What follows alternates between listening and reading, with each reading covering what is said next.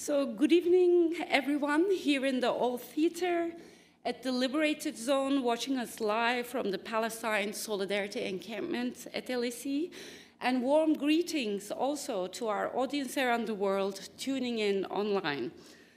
Uh, my name is Ayça Çubukçu. I'm an associate professor in human rights at the Department of Sociology and the co-director of LSE Human Rights here at the London School of Economics and Political Science.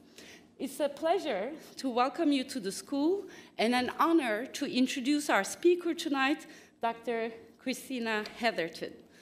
Now, uh, as people are walking in, and before I proceed further, please allow me to thank Laura Wayne, Maddie Giles, and the LSE events team for all their work in making this event logistically possible. Uh, this evening, we gather together for the 10th annual Internationalism, Cosmopolitanism, and the Politics of Solidarity lecture series, which was inaugurated in 2014 by Professor Partha Chatterjee of Columbia University. Our speakers over the past decade have included Professors Susan Buck-Morss, Etienne Balibar, Gayatri Spivak, Samuel Moyn, Sandro Mezzadra, Ruthie Wilson Gilmore, Gary Wilder, and Robin D.G. Kelley. I'm grateful to them all for bringing this lecture series to life over the past decade. Now, as we look towards the future, we're thrilled to be hosting Dr. Christina Heatherton tonight. Let me introduce her briefly. Dr. Heatherton is a scholar of internationalism, social movements, and critical theory. She is the Elting Associate Professor of American Studies and Human Rights at Trinity College in Connecticut, United States, where she's also Director of the American Studies Program, the Director of Graduate Studies, and the founding co-director of the Social Justice Institute. Dr. Heatherton is the author of the award-winning book, Arise, Global Radicalism in the Era of the Mexican Revolution, which was published by University of California Press in 2022. With Jordan Camp, who's also with us tonight. She's also the co-editor of Freedom Now, Struggles for the Human Right to Housing in LA and Beyond, which was published by Freedom Now Books in 2012, and also the co-editor, also with Jordan Camp, of Policing the Planet, Why the Policing Crisis Led to Black Lives Matter, which was published by Verso in 2016.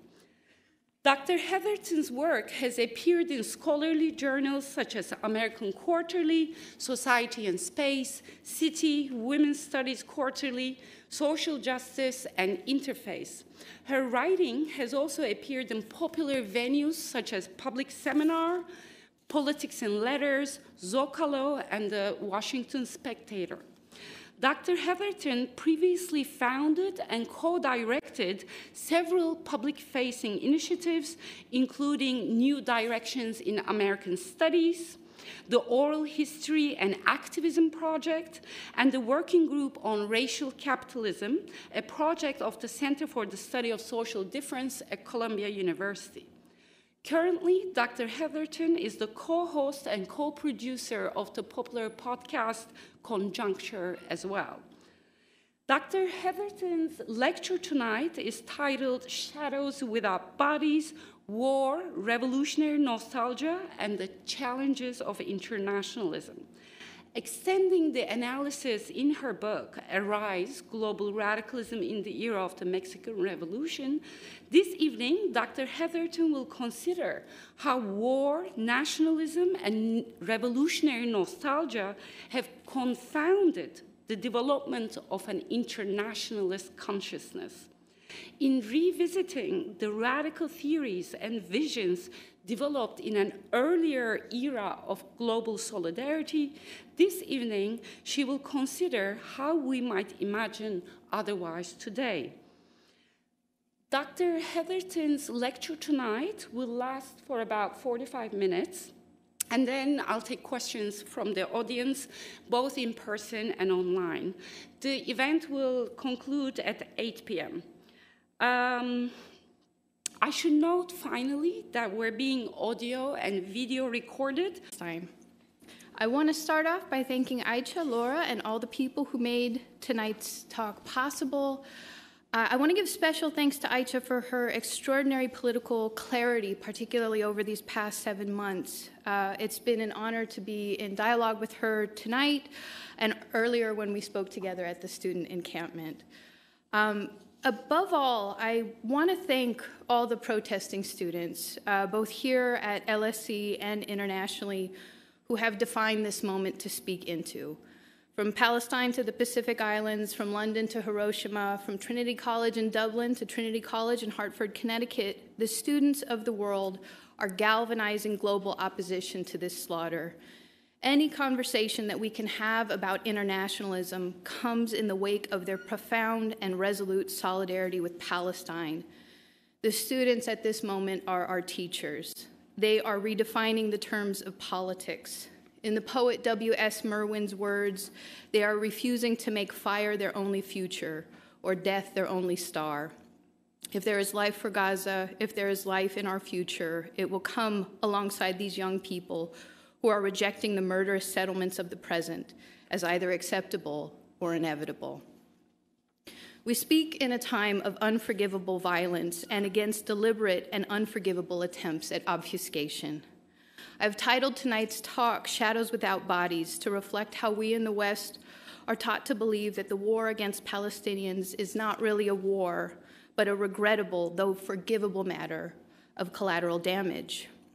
Partially, I want to name the deaths with no reference, the murders that occur in the extreme passive tense, those killed without perpetrators. Hisham Awartani, a Palestinian student from Brown University in the US, who was shot and severely wounded in Vermont this past fall, alongside his friends Kinnan Abdalhamid of Haverford College and Tahseen Ali Ahmed, our student from Trinity College, described the discordance of Palestinian life in this past Sunday's New York Times.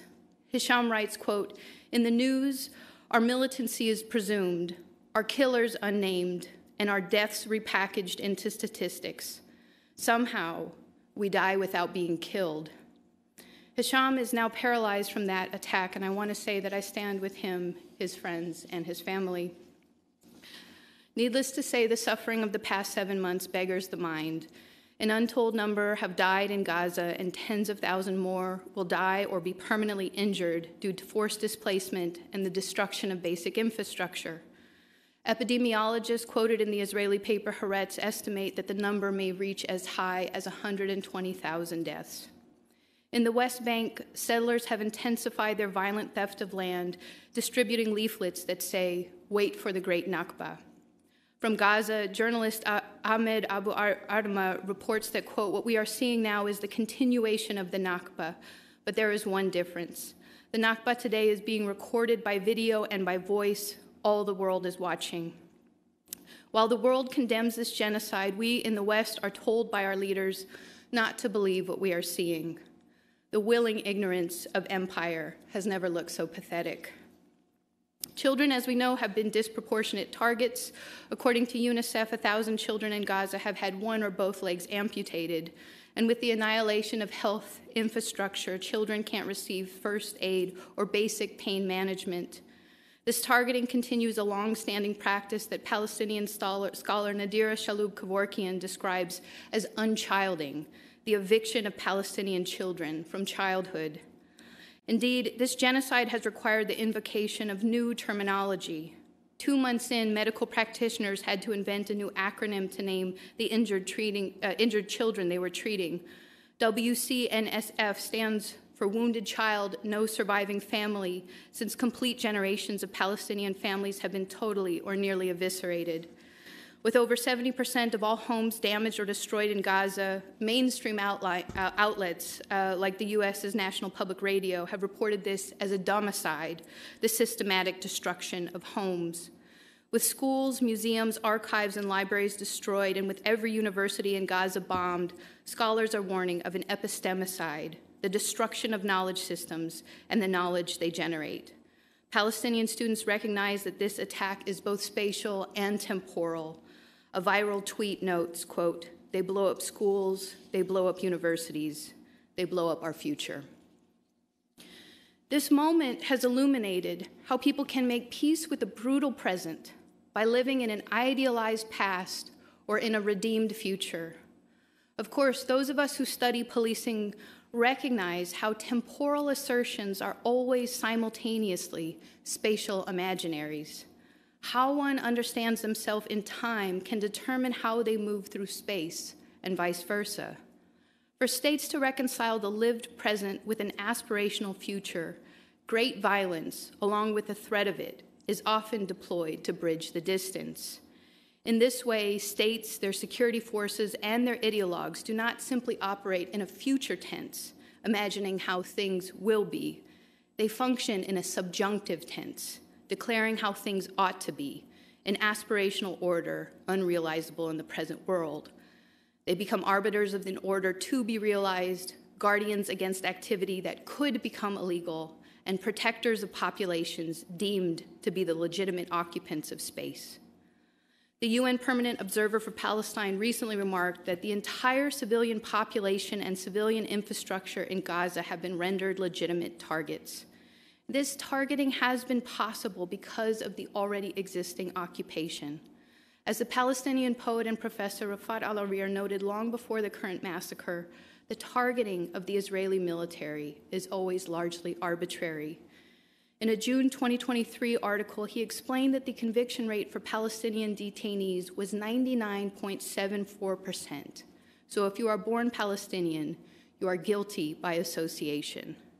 This context of everyday repression, he explained to Time magazine in late 2023, was essential for understanding the underlying conditions of the war. Quote, it is necessary for people to understand what's going on beyond the genocide, beyond the bombs, beyond the massacre. So the questions before us tonight are multiple. How do we make sense of this moment in time? How do we make sense of time in this moment in history? How do we think about security and distinguish the spectacular from the everyday? How do we reckon with the challenges of war, revolutionary nostalgia to build an internationalism at present?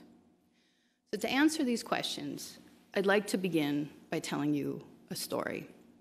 Actually, I'd like to begin by taking a sip of water and then I'll tell you a story.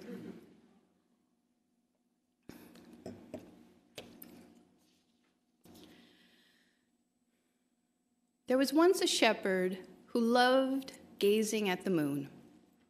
So young and handsome, the moon loved gazing back at him. In Greek mythology, the shepherd, Endymion, was granted eternal life by the goddess of the moon, but perhaps granted is the wrong word for it.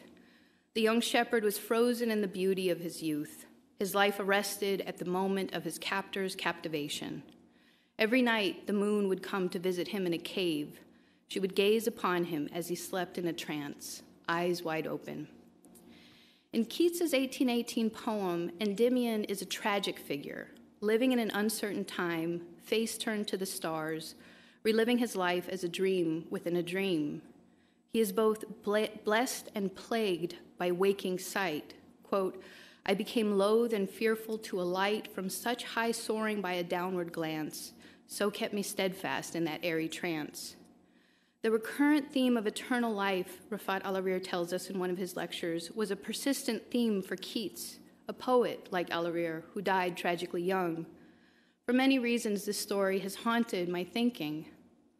In the 1916 short story Endymion or On the Border, the radical journalist and internationalist John Reed places Endymion in the border town of Presidio, Texas during the Mexican Revolution. In Reed's semi fictionalized story, Endymion is an enigma, a stumbling, hiccuping drunk who is also a beloved German doctor healing Mexican people along the border. His words are garbled, but he sometimes flies into startling bursts of coherence, remembering fragments of a past life. Sometimes he picks up an instrument and plays heart stoppingly beautiful music. Reed's protagonist is fascinated. He catches stray phrases and allusions and wonders if this man had also been a young radical when he found his way to Mexico. Quote, he himself seemed to have forgotten his past, right, writes Reed, lamenting these blear eyed fragments. How do you locate a man who seems to belong to different registers of time, awake, but in a dream. It was this story, rather than Reed's other works like 10 Days That Shook the World, that came to mind for today's lecture. Endymion seems to embody the challenges of internationalism, particularly the simultaneity of blindness and sight. I think about Reed's other works of fiction in Mexico in a new book that Ayça mentioned. Arise is a study of internationalism, a recognition of the ways that people have been unevenly waylaid by the global capitalist system, and how they develop forms of revolutionary solidarity in spite of social and spatial divisions, including national borders. The book takes its title from the first word of the Internationale, the definitive anthem to internationalism. Arise, ye prisoners of starvation, the song begins. In this way, Arise self consciously joins a tradition of authors who have plumbed the lyrics to grapple with the legacy of internationalism in their own times. Frantz Fanon famously took the second line of the song, Arise, wretched of the earth, to title his indictment of colonialism in and beyond French Algeria. After she left the Communist Party, Dorothy Healey wanted to title her memoir, Tradition's Chains Have Bound Us a slight reconfiguration of the lyrics, No more traditions chains shall bind us. Healey argued that unless a radical tradition was, quote, able to constantly keep alive that challenging, questioning, and probing of the real scene around it, it would only be a mere shadow of itself, a snare of revolutionary nostalgia where hope is trapped and strangled, rather than a living, breathing tradition that might allow us to survive. This is perhaps the central lesson of my book. As Fanon reminds us, it is the responsibility of every generation to discover its revolutionary mission and fulfill or betray it. This means confronting the world before us as it is, not as we would like it to be. Following radical thinkers like Fanon and Healey, this means finding honest ways to define our moment on its own terms, not as a shadow or imitation of a previous revolutionary struggle. What do I mean by this?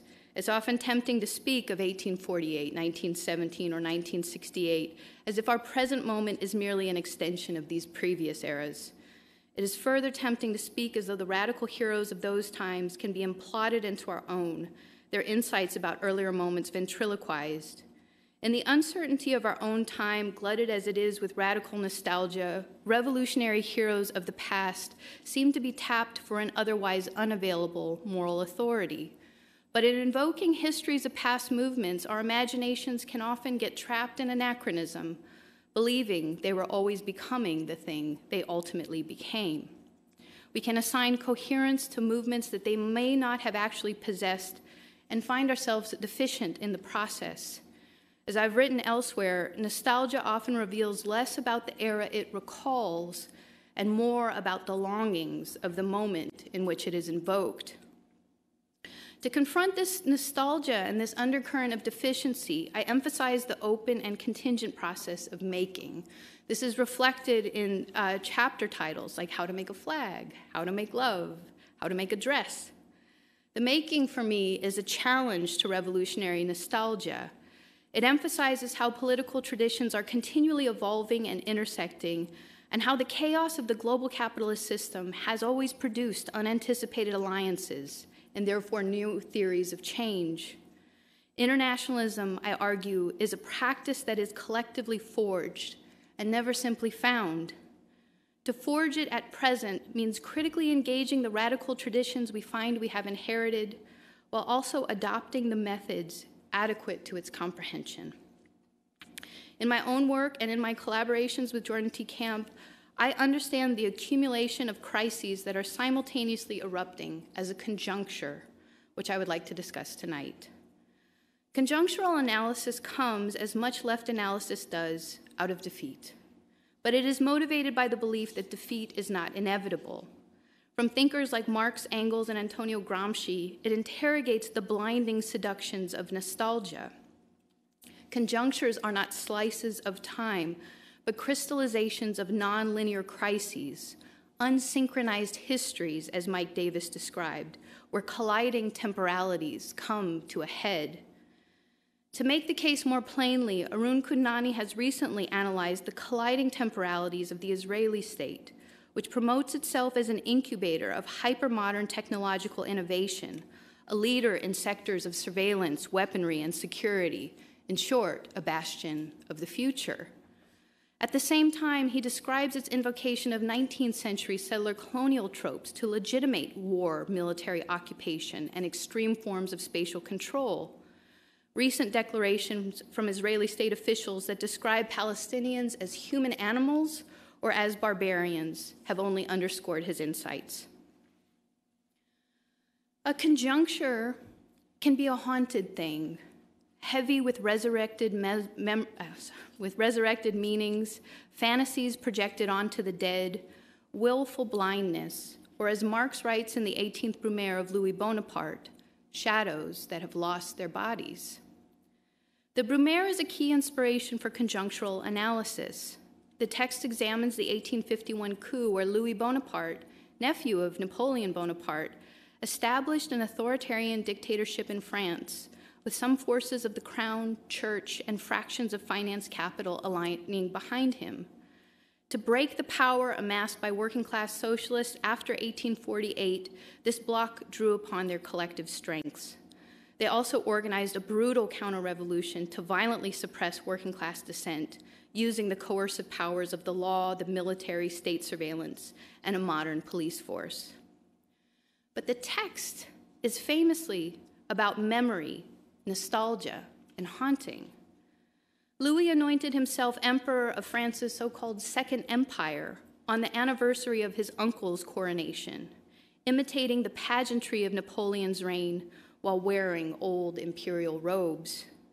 Louis aspired in vain to his uncle's stature. His rule was a caricature, or in Marx's often cited depictions, a farce. Shortly after the coup, Engels wrote to Marx, and possibly my favorite quote from them Could anything funnier be imagined than this travesty of the 18th Brumaire carried out by the most insignificant man in the whole world? It's like, sounds like text I sent. So. Uh, the Brumaire describes Louis' efforts to recreate the costumes of the past, along with its borrowed language and battle slogans, drawing on the legitimacy of earlier moments to conjure the quote, dead of world history. Louis' order tied itself to past dynasties while cloaking itself in the mantle of the people. This combination of nostalgia, security, and imperial expansion charmed many. The threats of detention, surveillance, and prison coerced many more. Proletarian leaders at the time failed to fully assess the situation.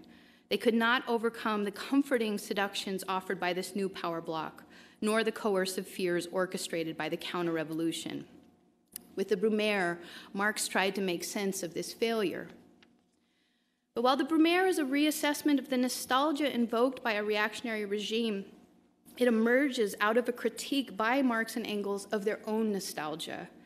Reflecting in 1895, Engels described how he and Marx were initially ill equipped to understand Louis' machinations since they were both, quote, under the spell of previous historical experiences, namely the French Revolution. For us, he writes, quote, there could be no doubt that the great decisive struggle had broken out and that it could only end with the final victory of the proletariat. After all, Marx and Engels had correctly predicted in the Communist Manifesto that a consolidating working class would assert its power across the continent. What they had not anticipated was how formidable the bourgeoisie would become. Though bourgeois revolutions had proved weak up until the mid 19th century, the bourgeois counter revolutions, in Angela Zimmermann's words, were, quote, terribly effective. As Engels reflected, we too have been shown to have been wrong by history, which has revealed our point of view at that time to have been an illusion. Marx's 18th Brumaire is therefore as much a reckoning with the events in France as it is a self critical reflection on the development of radical theory and history. It defines histories of bourgeois revolution as romanticized, appearing to, quote, storm swiftly from success to success. These he distinguishes from histories of proletarian revolutions, which by contrast had to, quote, criticize themselves constantly in order to reassess situations. He therefore proffers a radical orientation of humility as necessary to, con- to concretely analyze conjunctures as they unfolded in unpredictable ways. Conjunctures, according to the geographer Stefan Kipfer, are confluences of distinct but intertwined temporalities. In his read, they also require specifically spatio-historic frames to comprehend. So to understand the spatio-historic frame of the text, it is worth briefly expanding the Brumaire's analysis beyond France and into its tragic imperial forays. Louis farcically reenacted his uncle's territorial ambitions, albeit under a distinct form of geoeconomic expansion. He sent French troops to New Caledonia, Algeria, China, Senegal, and Lebanon. He sympathized with the slaveholding Confederacy during the U.S. Civil War. He sought territory in Latin America, including a major footprint in Mexico. In 1861, Mexican President Benito Juarez declared a moratorium on servicing foreign debts. Ostensibly enraged, Louis sent troops to recover the funds in 1862. Compared to other foreign bondholders, France's share of the debt was relatively small, hardly enough to justify an invasion. But unswayed, Louis installed Austrian Archduke Ferdinand Maximilian von Habsburg and his Belgian wife Carlotta, who was the daughter of King Leopold I, as the Emperor and Empress of Mexico in 1864. They arrived at Veracruz with an embarrassment of gilded finery coaches, gold plates, crowns, enacting their own imperial farce. When Maximilian was executed by Mexican forces in 1867, the robes of the fantasy French Empire fell, exposing a sad charade of the ancient regime. The spectacle of Maximilian's assassination was so humiliating to the French state that Louis made depictions of it illegal. One smuggled eyewitness account published in Le Figaro in August uh, 1867 describes the execution and names the existence of four photographs one of Maximilian before his death, one of the execution squad, and two of Maximilian's clothing, his frock coat and waistcoat riddled with bullet holes. What you'll see on the poster for this talk are the photo negatives of these pictures. These images of death without Maximilian's body circulated widely and illegally throughout France. Allegedly, they informed the paintings of the event by Edouard Manet, whose exhibition was uh, censored by Louis Napoleon. After the artist's death, Manet's son cut the main painting into pieces and sold them off. It was restored appropriately, I think, in fragments. What are apparent in Manet's depictions are the intimate details tufts of hair coming out from the soldiers' hats, Maximilian's hand embracing his aides as the bullets are fired. These images are haunting reminders of that which was not meant to be shown. They were humiliating to the French state precisely because they were so humanizing. The shadows without bodies are depictions of loss that evade censorship the weakness of empire revealed through its dishonored fragments. The ongoing relevance of the Brumaire is in its concrete analysis of constituent elements of power. In his journalism of the period, Marx names the competing factions of the capitalist class, including the industrial bourgeoisie, the landed aristocracy, and the particularly vile faction he calls the lumpen bourgeoisie, the lumpen bourgeoisie are the no account speculators, the rakes of the nobility, the men of low morals who were loathsome even by the standards of the day. This faction of the finance aristocracy did not represent elements of finance capital integral to the economy. They were the quote, vultures and raiders who swing from speculation to swindling. They were capitalists who did not gain their wealth by production, but as parasites feeding upon the extra legal protrusions from the body social of the rich. Hal Draper has described how the state under Louis Napoleon was intended as a protection racket to skim off the fact for himself and his lumpen entourage. In this way, Marx helps us understand what Antonio Gramsci would later discuss as a historic bloc, a composite of distinct class and social forces that cohere around a common interest joined politically and culturally under a specific form of hegemony. Such an analysis recognizes that there is no singular class that can move politics forward alone. It also observes that within classes, most importantly among the capitalist class, there are fractions whose interests diverge. Unsteady blocks may be formed among strange bedfellows with otherwise contradictory interests.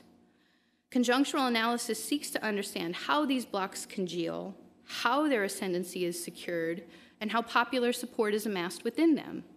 And it does so with an underlying sense of contingency. It looks for ruptures and contradictions to figure out how alliances can be undone or remade. There is something specifically vile about the class of lumpen bourgeoisie today that often falls out of our analysis of the conjuncture. As the labor organizer Jane McAlevey recently described, uh, as she is currently in hospice care, our fight today is, quote, against what has become a rapacious, vicious new Gilded Age elite whose predatory nature is nothing less than despicable, not to mention criminal. In today's world, these are the vultures of the economy, the slumlords, the nursing home flippers, the medallion cab company owners. Those might be the easiest to identify. They are also the short sellers, the junior hedge fund managers, the private equity pirates, the financiers who make nothing for themselves but who trap people in debt. While many commentators, especially in the US, focus on an apocryphal white working class as the heart of political reaction, this enraged, embittered, and entitled, slightly sidelined faction of the economy are at its true center. They are the ascendant class fraction who carry the rage of the overlook, of the overlooked. Uh, or to quote our famous philosopher and former baseball manager Yogi Berra, second place is first loser. That's a joke. Uh, so, who are the members of this class? In my work on policing, I've thought extensively about Rudolph Giuliani's extraordinary fall from grace as he has traveled the world trying to sell his wares as a so called security expert. More recently, I've been thinking of President Trump's daughter Ivanka, whose family for generations has been invested in predatory housing uh, relations in New York. Her husband, Jared Kushner, has come to renewed attention for his crude remarks, speculating on Gaza's, quote, very valuable waterfront property, along with his suggestion that Israel should remove Palestinian civilians to, quote, clean up the strip for development. Uh, this is in keeping with the uh, sources of Kushner's wealth. He made part of his fortune out uh, as a slumlord.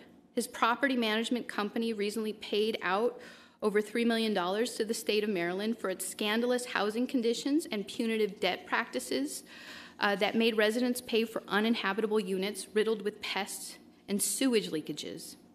Kushner and Ivanka have invested in a number of ventures, including properties in New York, and they have transferred their entanglements with militarism into Kushner's new Allied Partners investment firm, a company funded mostly through Saudi Arabian, Qatari, and, uh, and United Arab Emirate government wealth funds, as well as investments from Israeli debt financing firms uh, and investments from the founder of Foxconn, the Taiwan based electronics manufacturer infamous for placing suicide nets around its uh, factories, who is also a big investor in, in Israeli drones.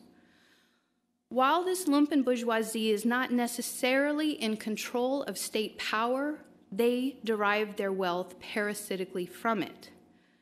As in the time of the Brumaire, they also represent an ascendant faction of capital.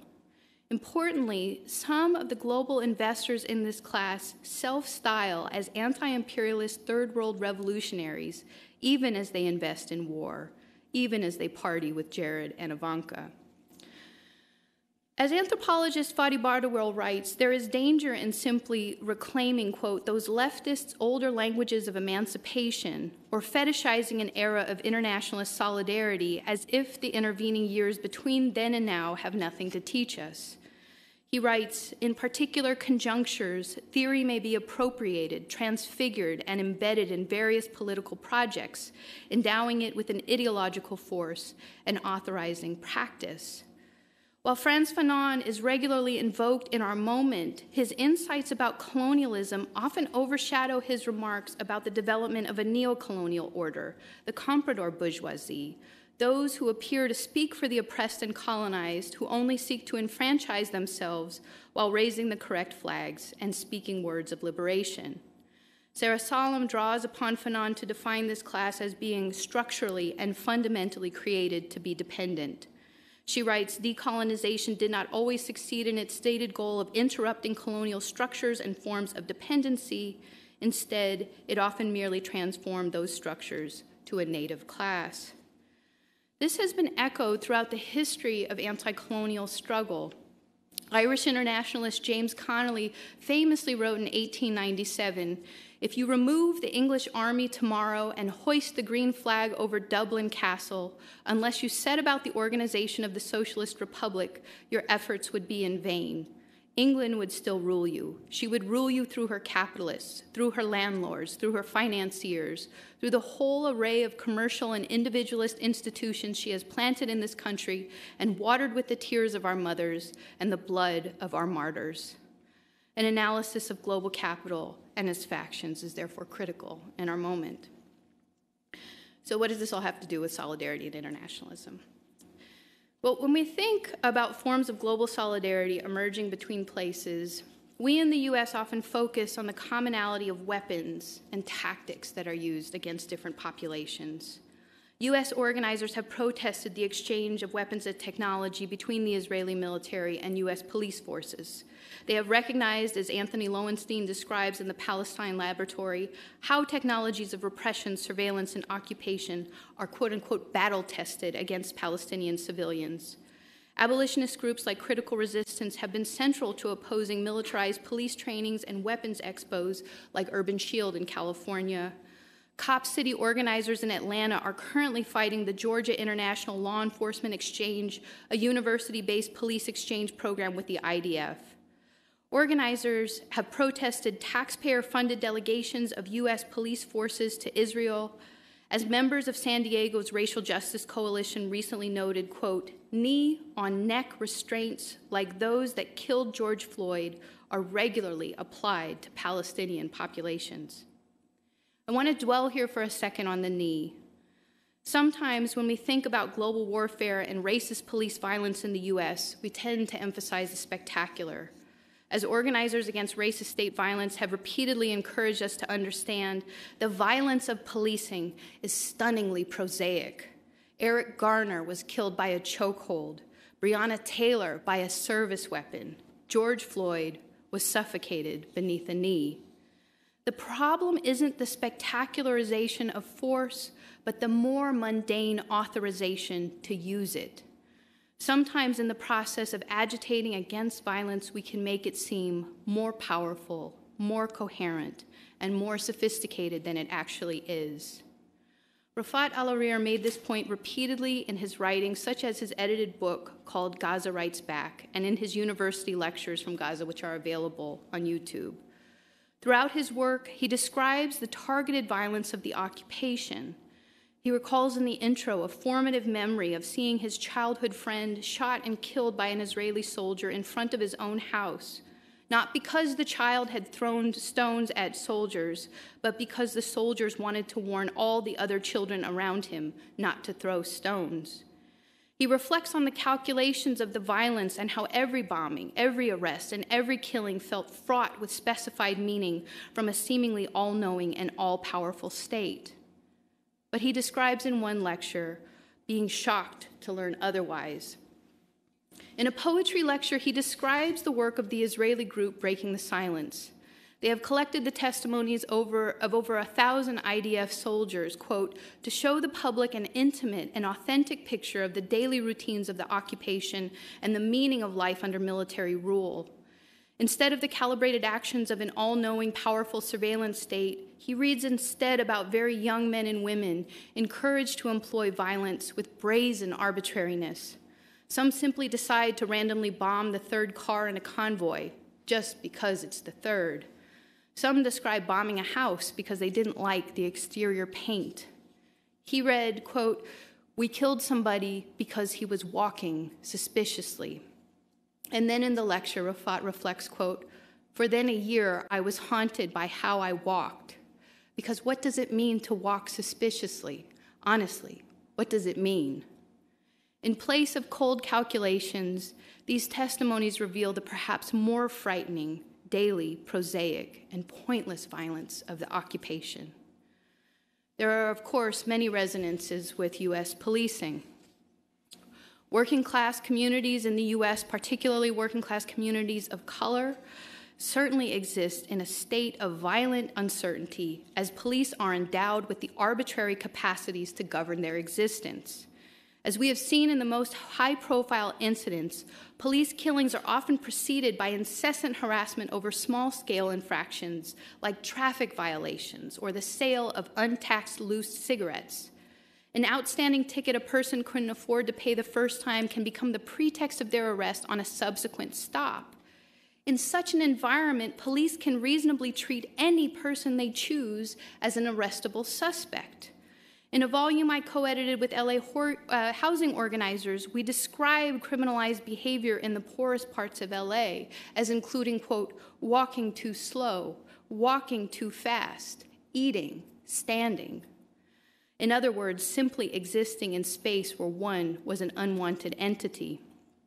My colleague Diana Paulin further describes policing along what she calls the neuro color line, noting how people of color and disproportionately black people in the United States who are neurodivergent, autistic, or non neurotypical are frequent targets of police violence simply because of their inability to respond at the pace, volume, or in the manner of a neurotypical person. While there are significant differences between the military occupation in Palestine and racist policing in the US, both targeted populations are vulnerable for arbitrary pretexts, including the fact that they may walk suspiciously. So while much attention is seemingly paid is paid to seemingly new models of transnational policing exchanges, counterterrorism policing, or militarized policing, it is important to note that none of these forms were spun from whole cloth. They fortified already existing and legitimated forms of policing of very poor, disproportionately black, brown, indigenous, immigrant, and working class people in the United States. In a sense, they also represent the spatialized collision of multiple temporalities colonial orders, Jim Crow regimes, imperial relations of war, and class struggle. These forms of policing are directly tied to the reorganization of space and the redirection of resources by capital processes that are legitimated through racism. This intense form of policing of crimes of poverty makes everyone, especially in mostly immigrant, poor, and working class neighborhoods, criminally suspect. Conjunctural analysis moves us away from the bewilderment of the spectacular and towards the necessity of political intervention. In this regard, the scholar Rhys Machold has repeatedly made the point that allies of the Palestinian struggle can sometimes unwittingly reproduce the propaganda of empire by asserting a legitimacy and an imaginary of state power that Israel would like to project, but that it doesn't, in fact, possess. This was made evident about two years ago when Mahmoud Arda and five other Palestinians escaped from Gilboa prison, Israel's most fortified prison, said to be more secure than the Bank of Israel. After tunneling out of Gilboa using implements as small as tablespoons, Arda said he discovered a secret. Quote, We wanted to tell the world that this monster is nothing but an illusion of dust. This is a challenge of comprehending this conjuncture. How can we attest to securitized infrastructures with their world destroying power while also recognizing that empires of violence can and often are simultaneously empires of dust. In another lecture about poetry and state power, Refaat reflects on his own knee jerk reaction to discussing the power of poetry. When the state uh, arrests or persecutes cultural figures, especially poets, the refrain is usually, and he was only a poet. He explains that he, himself a poet, even found himself falling into the trap. But he explains that poets are not targeted incidentally because they do something useful but then happen to write poetry on the side. They are targeted precisely because they are poets. And as he describes, a poem can be as powerful as an entire army. Refaat, as I'm sure you all know, was killed in an Israeli airstrike this past December. He was 44 years old. Our analysis today is haunted by echoes, voices of the many killed. I want to add that there are voices of the many people who are unable to participate in these conversations Because, as Olufemi Taiwo notes, there are insincere gestures of inclusion that don't actually change the very elite nature of our conversations about racism and state violence. But I want to underscore that there are also voices of intellectuals who have been sidelined and marginalized. These are voices of people who have had their confidence crushed by the market or who are simply too overworked to write an essay, contribute a reflection, write a poem. With nearly 80% of the professoriate in the US being precarious, working in contingent, vulnerable, short term, and underpaid positions with little to no research support, radical intellectual production is embattled. As we see with current congressional hearings, the unleashing of police on student protesters and against faculty, the current situation around political expression and intellectual production is dire. These circumstances have conservatized already conservative fields. They have conditioned scholars to be even more risk averse than many already are. But if we are able to speak to this conjuncture, to securitization, to racist policing, or to the question of Palestine at this moment in any meaningful way, it is because we are building upon the research and drawing upon the courage of scholars and intellectuals who have often been summarily dismissed from the profession for work that has been deemed too risky, too political, or too conjunctural, we might say. We suffer acutely from the absence of their sideline voices. I want to say that I previously taught at Barnard College, the women's college at Columbia University, and I have been watching the crackdown there with horror and concerns for friends and students. Some of that violence has similarly been pre authorized by pre existing security regimes. While I taught there, security guards assaulted a black Columbia student named Alexander McNabb, presuming he had no right to be on that campus, even after he showed his student ID. Students at the time were outraged. How many times, they wonder, had the same encounter been replicated with young black men and women from Harlem who didn't possess school IDs? The incident reflected Columbia's contentious relationship with the surrounding community. For every round of that school's growth and expansion, Harlem residents have suffered generations of intensified policing and painful displacement. These dynamics have perpetrated brutal segregation. They define who is able to live near the school, who is permitted to study within its walls, and whose students are implicitly taught to respect and therefore disrespect as the authorized producers of knowledge. So, when students at LSE and around the world reclaim space with their encampments, they are not only protesting the immediate conditions of war, but the histories of violence and exclusion that these institutions were built to reproduce. As many of you know, students at Columbia University renamed Alexander Hamilton Hall into Hind Hall after Hind Rajab, a six year old Palestinian girl who was killed in a gruesome bombing by the Israeli military. This was an enormously moving gesture, it was further meaningful to me because I was trained by people who had transformed that same Hamilton Hall into Malcolm X Hall during protests against the Vietnam War and against uh, segregation in Harlem.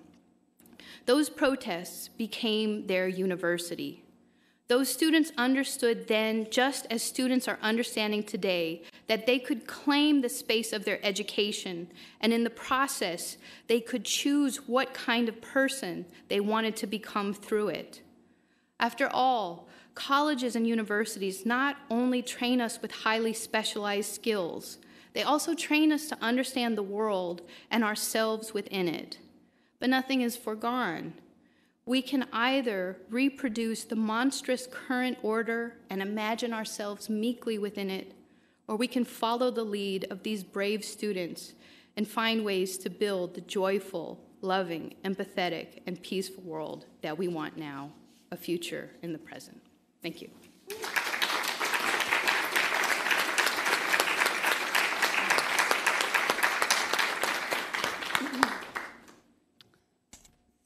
Very much, Christina. Is this microphone working? I wonder.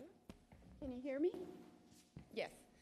Um, Christina, that was that was a poem.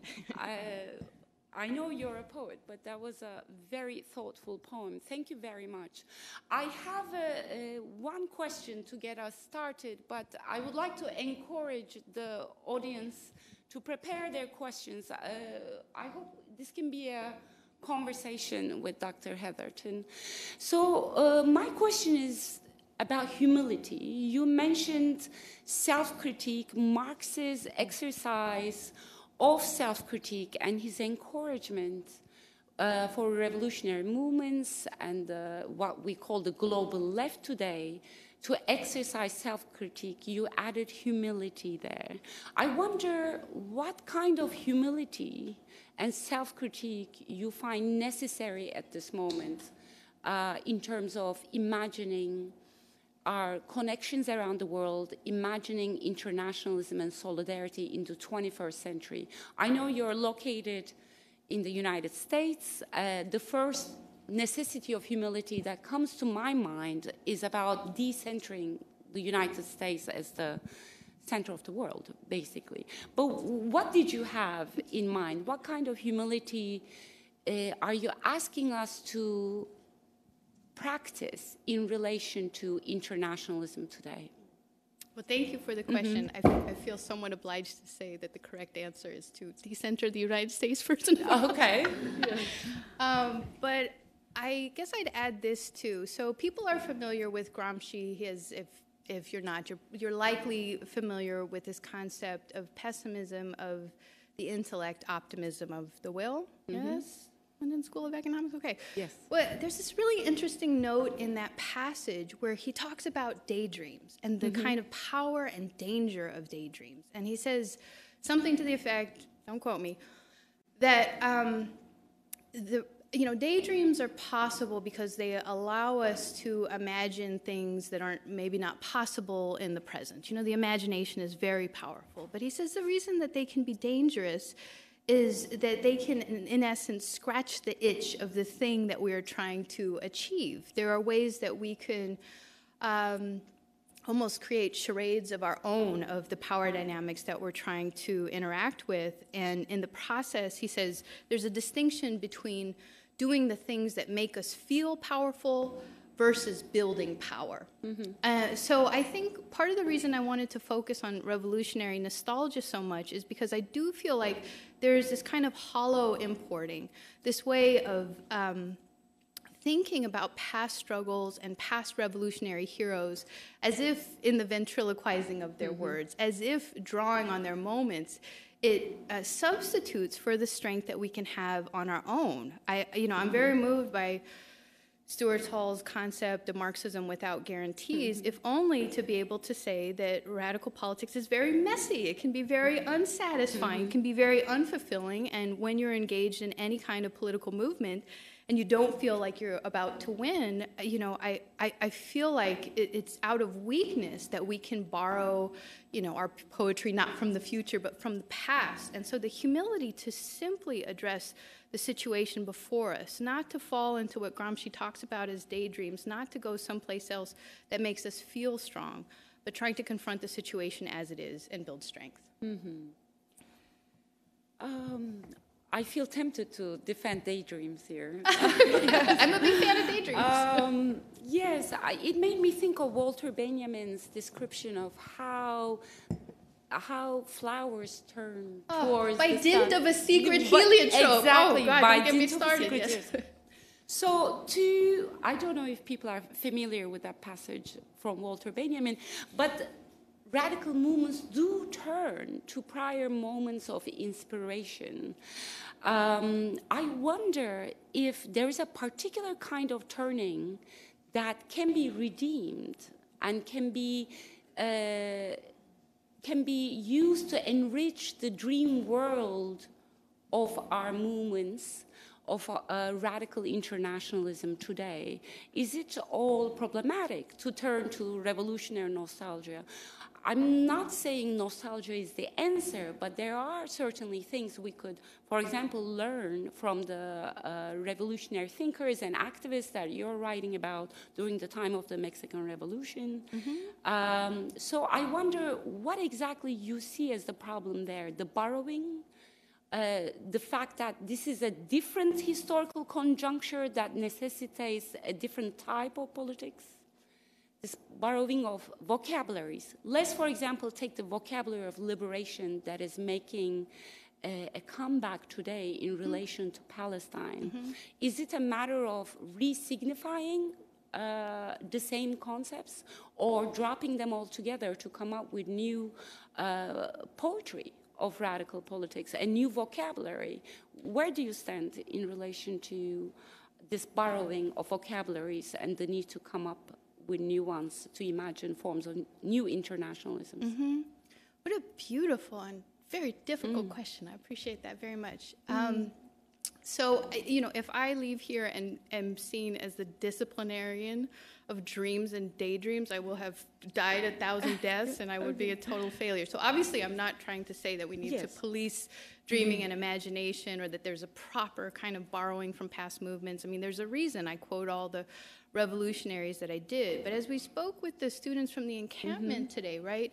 The, the, the reason it's important to parse through the legacy of internationalism, and part of the reason I think I start at a, uh, with the Mexican Revolution rather than the Rus- Russian Revolution, the Bolshevik Revolution, is because I feel like sometimes our inheritance of internationalism in particular can feel so freighted, so freighted in a way that it feels like um, it's somewhat predetermined. You are endowed with something that has been fully formed rather than a tradition that you see yourself in the process of making. So, I mean, one thing that I, at this moment, I mean, I, I can't answer all your questions, but one thing that I find maybe a juxtaposition that helps answer your question is that, uh, you know, we can fetishize 1917 quite a lot, uh, you know, for good reasons and for bad. But I feel like one thing that I, I say in the book, in the chapter mm-hmm. How to Make Love, mm-hmm. is I, I re-emphasize that the Third International, that mm-hmm. preceded the production of the Communist International, that produced the tradition of internationalism that many of us inherit, was actually a part of a split that was fundamentally brokered by all these radical feminists, right? Uh, Rosa Luxemburg, Clara Zetkin, and as I write about extensively in the book, Alexandra Kollontai. Uh, and I find that, you know, to not get into all the weeds here, but their opposition to the Second International's endorsement of the First World War, their sense that there was nothing liberatory in having the working class of the world sign up to kill each other, right? Their invocation of the international saying you cannot mesmerize us by gunsmoke right? Mm-hmm. Their, their total rejection of the masculinist fantasies of militarism and nationalism that's what produced the break to the third international. So that is certainly like a past struggle mm-hmm. you know that i see opening things up. That's a way of, of i don't want to say authorizing that's the wrong word but it's mm-hmm. the word that i have. Um, if I want to think about internationalism as an ongoing feminist struggle that continues to reject those things, that's, I think, a, a dynamic version of that history that doesn't feel like a freighted inheritance that's hard to move out from underneath. I have a follow-up question, but I want to turn to the audience. Okay, let me ask my follow-up question. uh, this is a question that I've been trying to work through for many years, and since we're having this conversation on record, let me ask if you think nationalism and internationalism are antithetical to each other, or if you think they have been historically complementary to each other. In particular, I have anti colonial nationalism in mind in its complicated relationship to internationalism. So I could pose that question historically, but let's bring the question to today. How do we think about nationalism in relation to internationalism at this particular conjuncture with Palestine on our minds? Mm. I, I, I, mm-hmm. I do want to think about. You preface the question saying this was something that you thought quite a lot about, and there's, you know, uh, a lot of different ways that people have dealt with this. You know, uh, in the history, Chantal Bateman's Internationalism Without Nations, for example. You know, ways in which uh, anarchists have thought about the project of internationalism, either within with or against uh, different state parties. Um, but I'm curious if I could put it back to you. H- How does the current moment maybe uh, intensify the kind of questions that you've been asking about nationalism, internationalism, and anti colonial nationalism? How does it intensify it? Um, that's a very complicated question. it is. Um, well, for example, the question of an independent Palestinian state. What is the, when we say, okay, let me summarize it this way.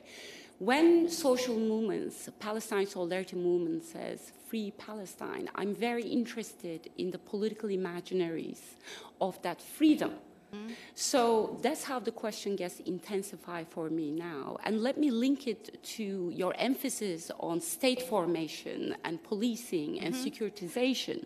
So, does freedom, this is the form it has assumed for me now, and we've had this prior conversation 4 mm-hmm. years ago. Princeton LSE co production, yes. where I pose you the same question. So, does freedom look like an independent nation state? And when we take that question to our contemporary current conjuncture, uh, it becomes intensified. That question becomes intensified. The nature of the internationalism we're imagining and the freedom uh, that uh, Palestine solidarity movement and Palestinian liberation movement demands. Mm-hmm. What is it? What is its relation to the nation state? Um, yes, that's. It's, it's, a very complicated question. I fire back and forth here. Yes. Um, I mean, I I feel moved to just reaffirm. Uh, mm-hmm. I, I I very much appreciated your piece in the Boston Review that talked about the multiplicities mm-hmm. of forms of freedom struggle, and I thought that was absolutely right on. Uh, both, you know, in addressing your question, the way that you said we have to uh, in solidarity. To mm-hmm. be in solidarity with Palestine is to understand there are multiple places yeah. from which people are struggling and imagining freedom, yes. Uh, both in the kind of immediate and in the long term, and mm-hmm. that it is a mistake for anybody in the West to mm-hmm. presume a singularity yes. of that political struggle. I was like, no, that that's a very difficult point to make, but I thought that that was absolutely right on. So. Um, Yes, that's, that's a great opening for us to continue the conversation because it takes us to the politics of solidarity, mm-hmm. the politics of international solidarity at this current conjuncture. Um, perhaps our audience members have thoughts, questions. Yes, please. If you don't mind introducing yourself briefly, that would be very much appreciated. The microphone is coming. Thank you. James Knight, member of the public. Um, I've been wrestling for many years. We're talking about the Palestinian uh, problem, to use a better word, has been around for many, many years, but has just come to hiatus now. I have always wrestled how can you criticise the Israeli state and government and elite without seeming, this is it, anything you say is taken to be anti Semitic. How do you distinguish between the Israeli state and the Jewish religion and separate them, you know, in your criticisms, kind of thing? Mm-hmm. And uh, that's what I've wrestled for many years. Thank you. Uh, let's take one more question or comment, if there is any. Yes, in the back. Thank you. Um, yeah, I was kind of struck by this, your thoughts on like how can we attest to the power of securitization without kind of, whilst also seeing that actually it's something that can be resisted. Um, and also made me think of how a lot of that securitization is about kind of uh, prescribing resistance. Like a lot of terrorism is about prescribing political violence or even mm-hmm. just politics. And it, yeah, I'm kind of wonder like how that's related and more like what your thoughts are on how how do we deal with that.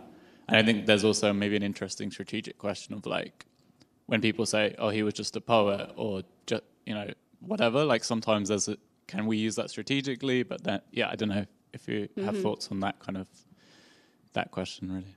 So how can we?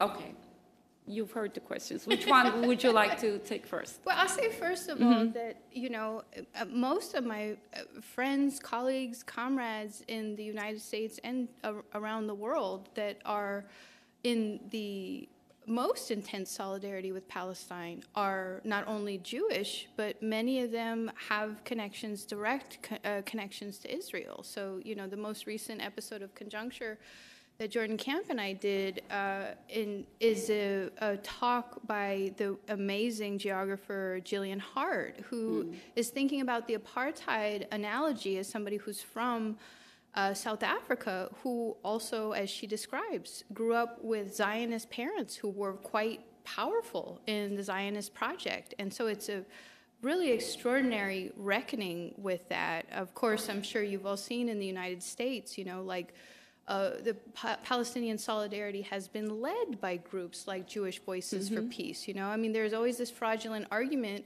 uh, when people, you know, I mean, Robin Kelley, as you know, just did a, a really extraordinary overview of the protests at UCLA, where he takes to task this notion that protests are anti Semitic when he says, you know, when they led all these vigilantes, when the cops stood by and let all these vigilantes attack the student encampment there, like, you know, if, if not most, a, quite a large percentage of those protesting were Jewish.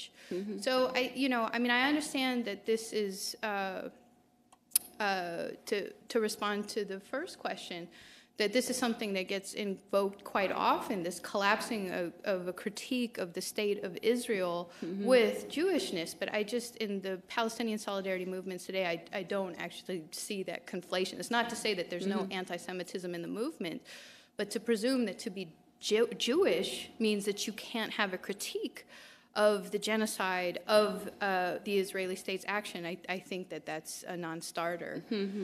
Uh, so I, there were a few questions in your questions, and I've already forgotten some of the questions, but I'll do my best. So I will just say that you know, my work's a little strange because I both write about histories of internationalism in the early 20th century, and then I do work with different organizers around racist state violence at present. But I do think that they go hand in hand because the tradition that I see myself a part of, the, mm-hmm. a tradition of history from below, always teaches us to read things backwards, right? And so mm-hmm. when you think about how, we were just talking about this today at the encampment, right? When you think about the ways the, the state cracks down on political dissent, when you think about this ridiculousness, I don't know how much of the footage has reached you all in London, but, you know, police shoving and pushing and you know uh, beating protesters beating uh, onlookers you know like this uh, I, I think people understand is both like has to be understood on its own terms for what kind of horrifying violence it is but also to be read backwards right that it's a sign of its strength and effectiveness that the state has has to resort to unleashing this degree of physical violence as an attempt to staunch it and then they fail, right? I mean, this is the, it- you know, part of my book looks at social movements in Los Angeles. Uh, and so it's really interesting. There are memoirs that talk about the reason why people joined radical movements was often because they went to protest and saw how fiercely the Los Angeles Police Department beat protesters. And they were like, wait a second, that's totally wrong. Wait a second, maybe everything I think about the world is wrong. Wait a second, all of a sudden I'm marching with these people you know and i think increasingly that's where uh, what we're seeing now. I think i heard one of, a student at the encampment talking about some of the response of the administration to the encampment and saying look on one hand it's a little worrying. On the other hand they must be nervous if they're trying to respond in the way they are. And i think holding that duality is really important especially if you're going to try to keep going which you must. Okay, I have uh, two questions here from our online audience. The first one uh, is from a student at Ambedkar University in Delhi. Uh, this student is asking uh, Do you think the rise of ethno nationalism and the right push glorification of glorious pa- past of state identity has affected uh, is creating wars across the world like Israel, Palestine, and Russia and Ukraine. It's another question about the rise of nationalism all around the world and its effect on the wars we're witnessing? And the second question I would like to raise is from the United States. University students, the question says, are on campus for, for four years. Workers are at work all their lives. Have you come across successful examples of student worker alliances uh, that are internationalists? Okay. Mm-hmm. All right. The so nationalism, uh, its role in facilitating wars, mm-hmm. and the question of student worker alliances in internationalist movements. Sure.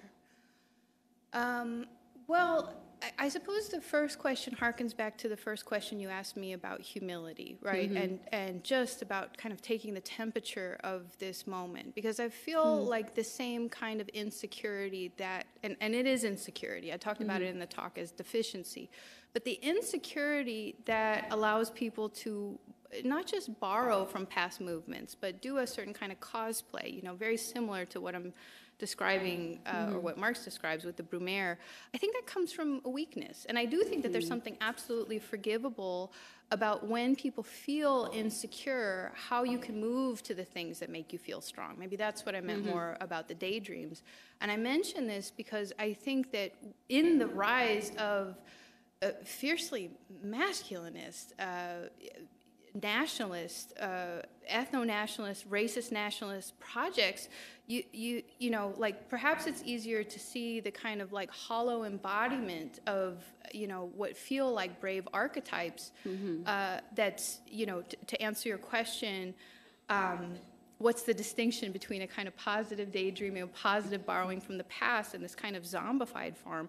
You know, I think that that's a really um, uh, good explanation to, to, to think instead about the masculinist rise of ethno-nationalist fantasies that we see all mm-hmm. around the mm-hmm. world at this moment. So I don't remember the particular question that came from it, but I, I do think that, that our conversation about internationalism, the, the, the questions about why this is so important now, they're not just abstract, right? Mm-hmm. It's not just that I'm, you know, here to plug a a book, uh, but um, they are essential because if we do not develop a, a, coherent alternative way of thinking about it, this is what is ascendant. Yes. This is what is taking like libidinal force around the world. Uh, and yes, it is intensifying. I don't, this is improper to say, but everything that's wrong, you know? Mm-hmm. So, yes, so I agree that that's an issue. Um, and the second question? Student worker alliances. Yes. In I'm, internationalist movements.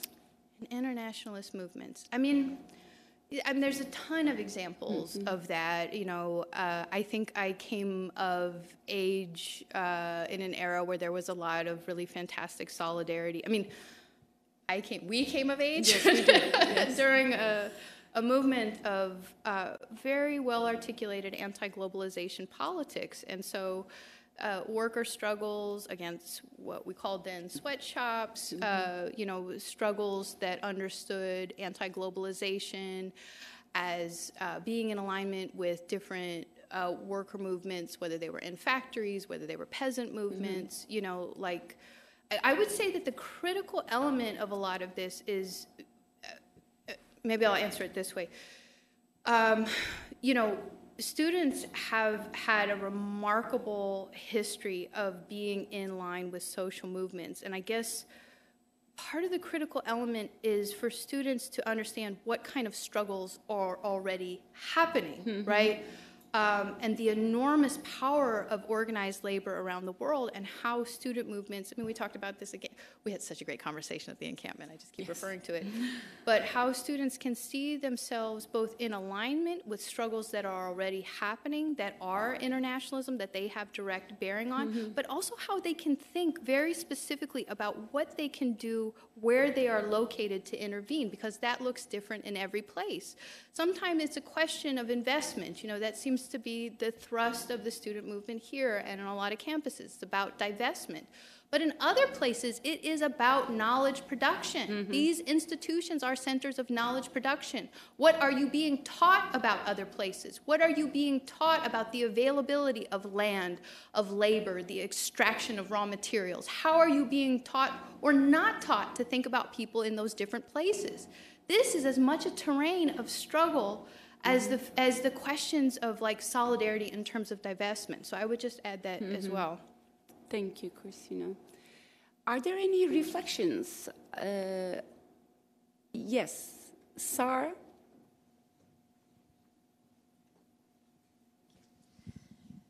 Hi, uh, I'm Sara Salem, working work here at LSE. Thank you so much for such a fantastic and really moving um, talk.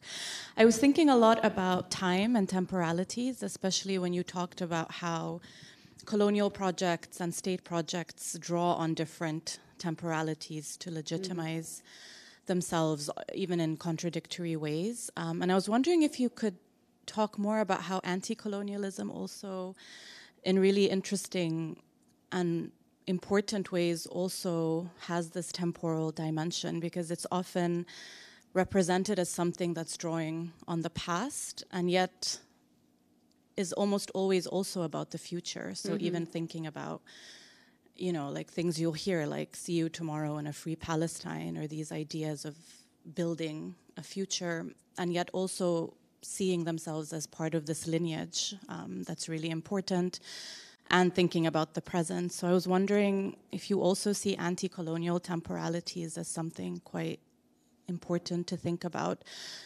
And that nostalgia is there, but there are also these, there's speculative work that's happening, there's the, the imagination, the dreams. Mm-hmm. And also, how in moments of revolution, time can kind of collapse all of a sudden. So, I was thinking about the 2011 Egyptian revolution, how when you're in this space, um, the present just disappears in the sense that suddenly the past is there and the future is there at the same time. And, you know, so many, uh, even my parents that were there were suddenly feeling like, is this a chance to do something we didn't have the courage to do? And so, almost reaching back into the past to do something different. Um, And so I was thinking a lot about this idea of is there something about anti colonial temporalities that helps us think about how the past is really powerful, but that also there's always this attention to the future um, that almost collapses some of these linear distinctions. Um, Thank yeah. you. I'm taking notes. I'll take the rest of the questions as time is getting short. Mahfish? Yes, thank you. So, my name is Mavish. Uh, I also work here at LSE. Thank you for a really beautiful and inspiring talk, um, especially at a time when, of course, across the UK, people can sometimes not even speak of Palestine. Um, so, um, the question, I hope it's going to make sense, but uh, my own work uh, is also on various forms of legalized militarized violence and anti colonial left movements, but in another part of the world, which is South Asia and the Pakistan Afghanistan region. And one of the things when it comes to internationalism that I really struggle with, and I think uh, potentially in some of the work that Ayça does in terms of Kurdish uh, movements, uh, also comes up there is how there's some struggles both in the past when one looks back nostalgically but also in the present that are more legible and visible than others uh, that become sort of uh, symbols of what the internationalism is of the 21st century and of course at the moment right now uh, at the same time as palestine we have sudan uh, which recedes into the background very very quickly. And uh, people struggle though wanting very desperately to create the modes of connection um, and solidarity there as well, uh, struggle to create that and have Sudan emerge also up there at the same uh, level of legibility. And it's interesting that the hashtag online is eyes on Sudan. Keep, keep your eyes on Sudan. It's constantly receding into the background. Why is that happening? Um, and, and, you know, as far as I understand, Kurdish interna- you know Kurdish movements really blow up into the scene when it becomes relevant within the geopolitics of U.S. imperialism in terms of ISIS. That's when it suddenly goes from into a, a form of legibility. But before that, remains a domesticated issue that has nothing to do with elsewhere. And in, in the region that I work on has been Afghanistan for years under US occupation, with all of the conversations on decolonization in our universities. The fact that there was active US occupation in Afghanistan was barely on the radar of the conversation until the withdrawal. And then it was on there for two months and then out. Uh, so I was wondering if, you know, about that and, some reflections upon that. And I think also referring back to something that I just said in the beginning about the decentering of the US mm-hmm. and perhaps also the decentering of US empire as that frame through which we mm-hmm. see or don't see struggles around the world mm-hmm. as connected to us. Thank you. I'll take one. Oh, there are two more. I saw Su- Susie. Um, just to return, Susie, we met earlier, Yes. um, and thank you for an exquisite talk. Um, just to return to Ayça's question about the nation, I wonder if there is a an imaginary we could provoke that's neither lodged between the idea of nationalism nor nationhood, but is about a kind of scale of gathering that allows us to think about how we hold resources, how we distribute resources, how we think about neighborliness, um, without just throwing that possibility away because of the disasters of nationalism. Thank you. Um, there's one. more. Do you have a question too? No. I see one more question, and then Christina will have five minutes to respond to everything. Vidya? Thank you. Hi, um, my name is uh, Vidya Kumar. I'm at SOAS um, University. Um, so uh, I just want to follow up on Ayça's conversation with you um, because you know I'm I haven't finished it, but I've started to read this wonderful, absolutely beautiful book of yours, and it seems like in the second chapter you actually do have an answer to her question about the tension between nationalism and internationalism, whereby you would reject nationalism as an answer to the liberation question. Um, and I just want to know whether or not your your hesitancy to agree with that position suggests that um, um, it's the question of nationalism within the Palestinian context is much more fraught, and nationalism being fetishized in part because of what international law has done to the state of, of Palestine, um, which has uh, created a, a, a kind of um, idea that the state, a state, is a solution. And so the legal language being brought in and taking over the imaginative ways in which there could be a different kind of collective solution to, to um, the conflict, the question, and the oppression. So I, I just would like to hear a little bit more of your thoughts on that. Um, um, and then um, the second question I had simply had to do with some of your um, arguments about dangers of nostalgia or the bad kind of daydreaming. Suggests to me that um, that um, it, sim- there, there's similar arguments that David Scott makes in relation to Omens of Adversity and the Haitian Revolution. And I know your. I'm, I was listening very carefully, and I know your analysis is different. And your your. I, I'm just curious to where you depart, or what do you say um, in in uh, in terms of either his work or um, the way you view those dangers. Thank you. These are such fantastic questions. Four of them, one minute each, please, Christina. No problem. Okay, thank you. Okay, it's actually quite a big problem. Uh, so, Sara, first, I'm sorry for mispronouncing your name like a bad American. Um, I, it's very difficult to address your question without just citing your own work back to you, which I, you know, I mean that as a big compliment.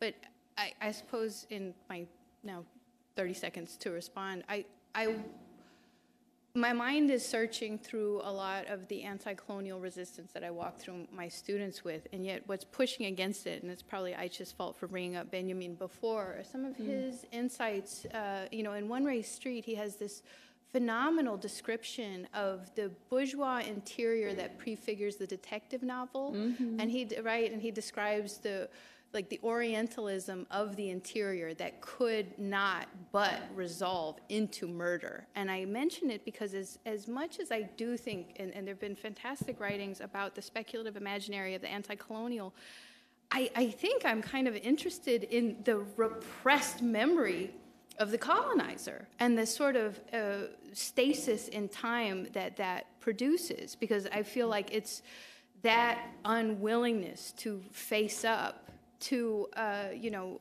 to colonial violence and disorder that produces its own kind of temporal dislocations and so in the same way as and I'm sorry tell me your name one more time Mavish. Mavish, uh, the same way as uh, that you underscored Ayça's point about decentering the U.S., um, I I am losing my point. Uh, tr- trying to tie it all together very neatly. Afghanistan and Sudan, why don't they?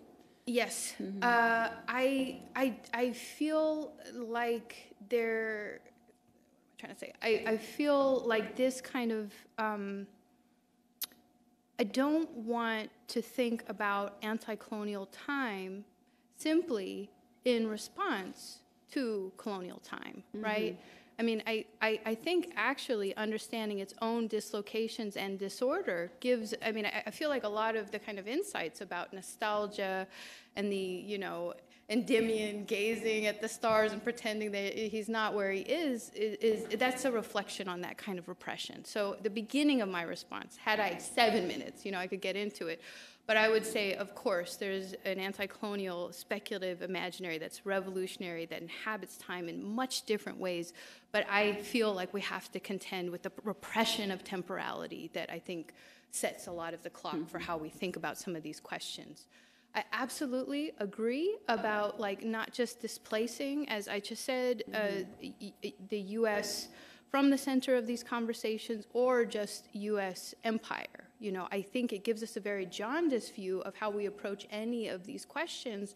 And I suppose like some of the humility that we talked about earlier does involve like saying, what is the situation at present and how do we approach it without these kind of prefigured paradigms that presume we know who the enemy is at all times, right? That every struggle resolves as a struggle against US imperialism, as if US empire was that strong or singular. So I, I, I appreciate you bringing Sudan into the conversation. I appreciate you bringing Afghanistan into the conversation. And uh, I have like 30 seconds, so that I'm going to have to leave it there. Uh, Maybe we can tie to Susie's question about uh, nationalism and the possibility of going beyond it in our internationalist imagination. so I, I think, and I'm sorry, tell me your name again. Vidya. Vidya, thank you both for your questions very much. And I think this very, as you said, you listened very closely. I was almost going to have to go back to chapter two and say, what did I write? Uh, um, but I think if I if I do have hesitance to draw immediately from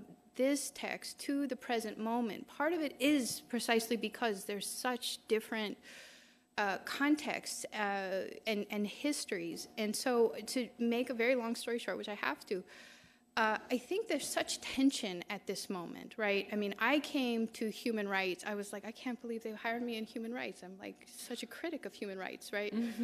Happens sometimes, right? It does. But at this moment, right? I mean, I think we are all dealing with this very productive tension of being able to say, how do you think about the available frameworks and their limitations when they are also, you know, the mm-hmm. frameworks within which we can move? It is not insignificant when the mm-hmm. ICC makes a declaration, right? It is not insignificant when UN special rapporteurs declare this a genocide. It is not insignificant when international bodies weigh in.